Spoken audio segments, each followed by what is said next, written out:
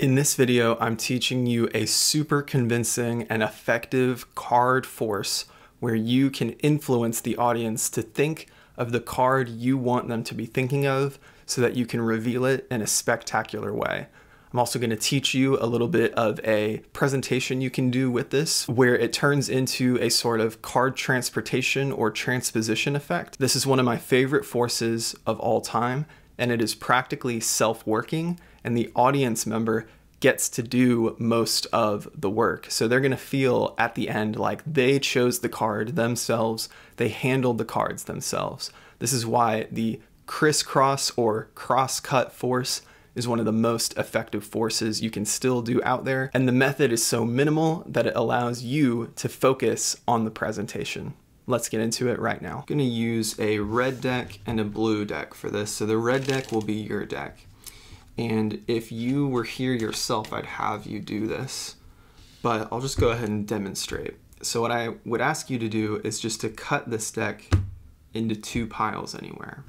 And we're just gonna mark where you made that cut. And the purpose of this deck is that I'm gonna look through this deck in a moment and I'm gonna try to actually find your card. But for now, I want you to go ahead and memorize your card. All right, and again, you could have cut anywhere. So now it's my job to figure out what your card was. And this deck is almost like my mirror to your deck of cards. So as I look through these cards, I'm going to be looking at you and see if I can sort of transmit to me from you what your card was. I think I got it. All right. On the count of three. One, two.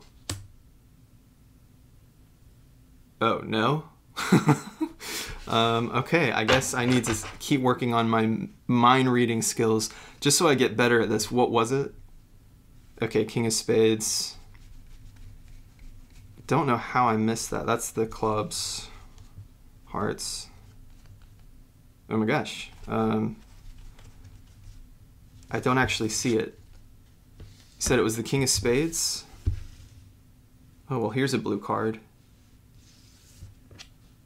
Looks like you somehow found the only blue card in this deck. So I want to show you the cross-cut force and talk through some simple applications and then that was just a, a fun freestyling with the two colored decks, and we'll walk through that in a moment. But for now, this is one of the best forces you can do, and I still do it to this day. Uh, this is something that I think the best magicians understand. These things that you learn that are uh, classic, foundational, or quote unquote easy. Um, some tricks that are you know self-working, uh, like this force, you could call it self-working in a sense. That doesn't mean you need to move on from it and forget it forever. Uh, keep it in your tool belt. Uh, come back to these simple foundational illusions because they can actually be some of the strongest. So a lot of magicians really love the cross-cut or crisscross force because it is so minimal in terms of method that it does allow you to focus on presentation. And despite its minimal method, uh, I think it avoids some of the weird clunkiness that a lot of other self-working illusions, forces, uh, things techniques have because the procedure is not too complicated. So you have that elegance of a simple pr uh, procedure, but you're basically doing no sleight of hand. It's all in the presentation and in the psychology. The force card is on the top or on the bottom, and it can be done on the fly by you just memorizing the card after the deck is shuffled or it can be a deck that you bring out of the box ready to go with your force card. There are other methods to make it seem like the audience has shuffled the deck truly, and then you're able to get that force card where it needs to be. But that's for another time. Let's just for now assume that you have um, the Ace of Spades as your force card on top. You're gonna tell the audience member to do the steps in this specific wording. So you want to be casual, but pay attention to these words. So ask them to just cut the deck into two piles. Now, already off the bat, don't say cut the deck, because they might cut the deck and complete the cut, right? And the great thing about this instruction is you don't need to check your audience members' dexterity with the deck of cards ahead of time because pretty much anyone is going to be able to understand and just do this, right? So they're not holding the deck, they don't need to shuffle or cut the cards truly. They just need to move one packet over to the side. So you tell them to cut the deck into two piles and they will do so. Now, this part might need a little more help from you depending on their level of confidence. You're also trying to help them feel at home and natural. You know, it can be scary to help a magician, so make them feel at ease and you're going to instruct them to pick up this packet and turn it to the side and put it on top of that packet. You can also do this yourself if you're worried about that part of the procedure. And you can say, I'm just going to mark where you cut. But if you're able to get them to do it, that's great because then they'll have touched the deck the whole time.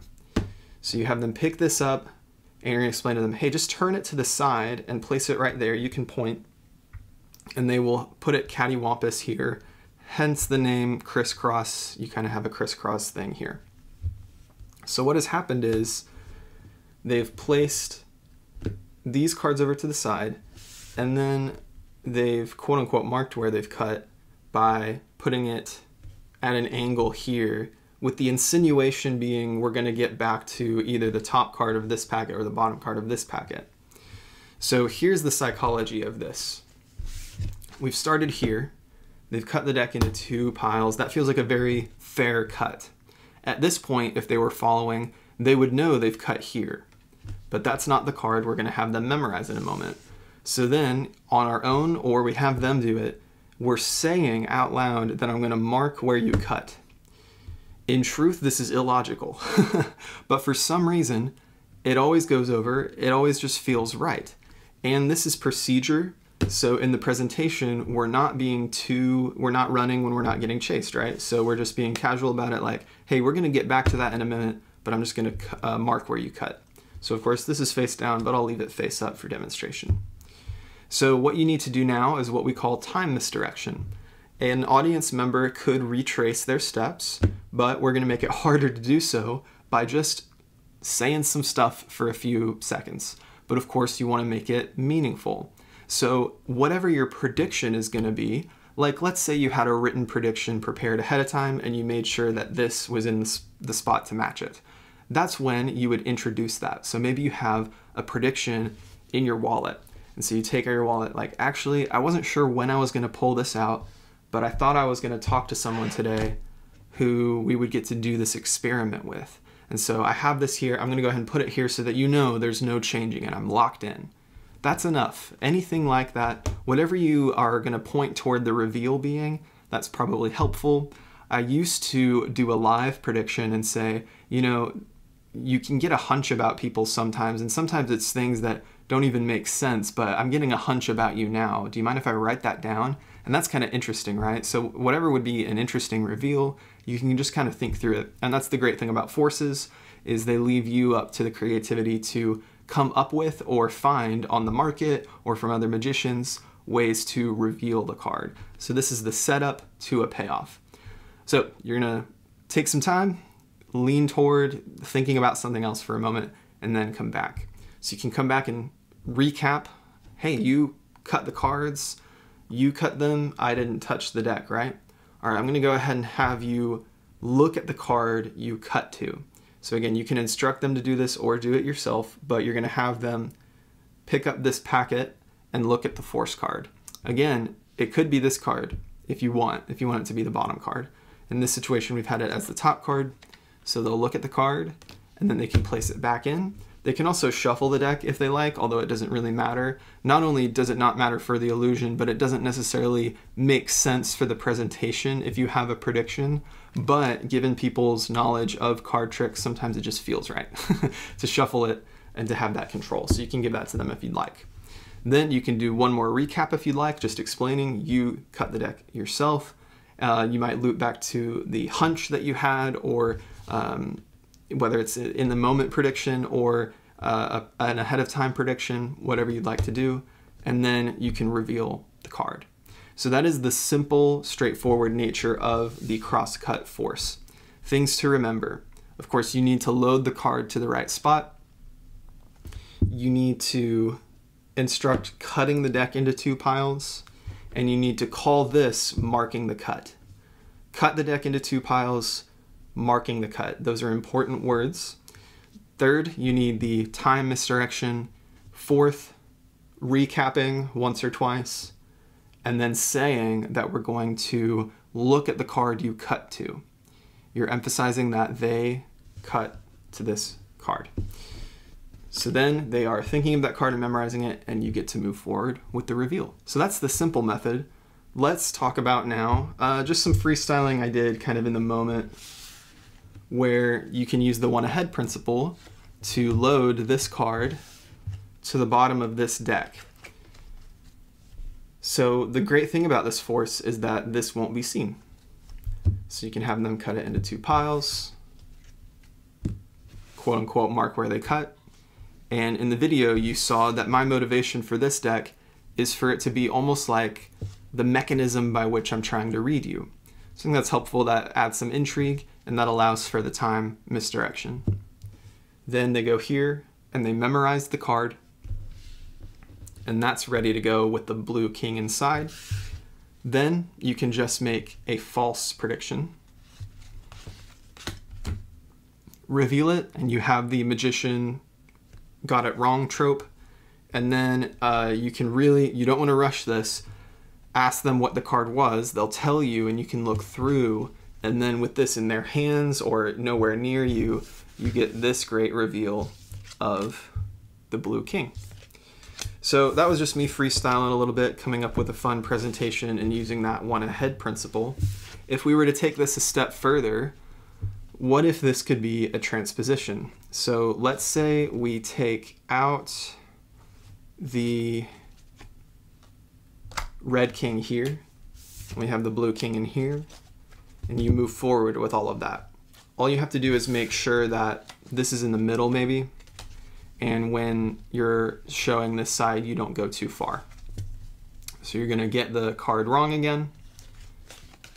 You have this reveal moment, trick gone wrong, ask what was the card?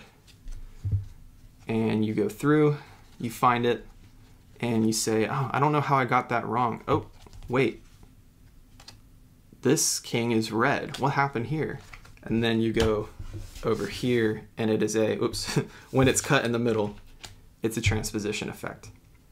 One more thing is you can use this to force multiple cards. So if you're familiar with the toxic force or number forces or something like that, this is a terrible example because I have like most of the tens here. You wouldn't do that as your number force. But if you had like five to six cards ready to go, if you're able to also insert false shuffle or even uh, illusions and techniques where you have it seem like the spectator has freely shuffled the deck and then you're able to get these loaded on top or bottom, then you can do that simple cut. And then you're going to come up with a motivation to get a few cards, but you might also just be like, let's just grab a few cards here. So you cut here, da da da da, you're going to go to the five cards and that's your number force. So that connects to other tricks. We'll have to talk about that at another date, but I did want to link to that. This doesn't just have to be a single card force.